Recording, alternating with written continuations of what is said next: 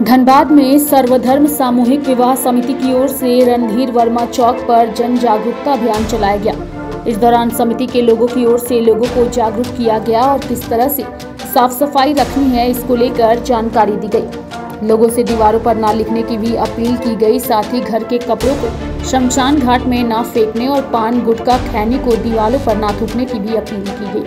हम लोग सर्वधर्म सामूहिक विवाह समिति की ओर से जन जागरूकता अभियान हम लोग यहाँ रखे हैं। इस अभियान के तहत हम सभी धनबाद वासियों को पूरे पूरे जो है इस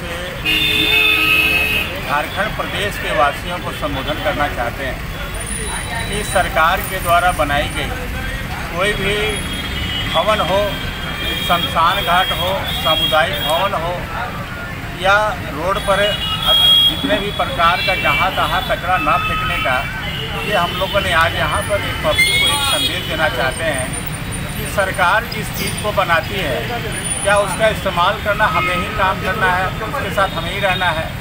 अभी गवर्नमेंट ने यहाँ पर जो है शमशान घाट जो है बहुत अच्छे तरीके से बनाई।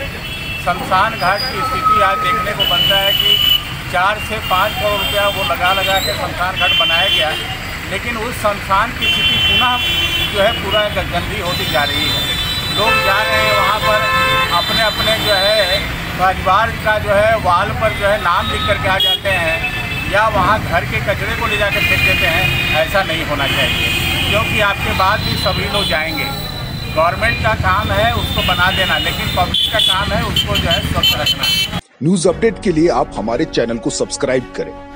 आप हमें फेसबुक और इंस्टाग्राम पर भी फॉलो कर सकते हैं। बने रहे लगातार डॉट इन के साथ।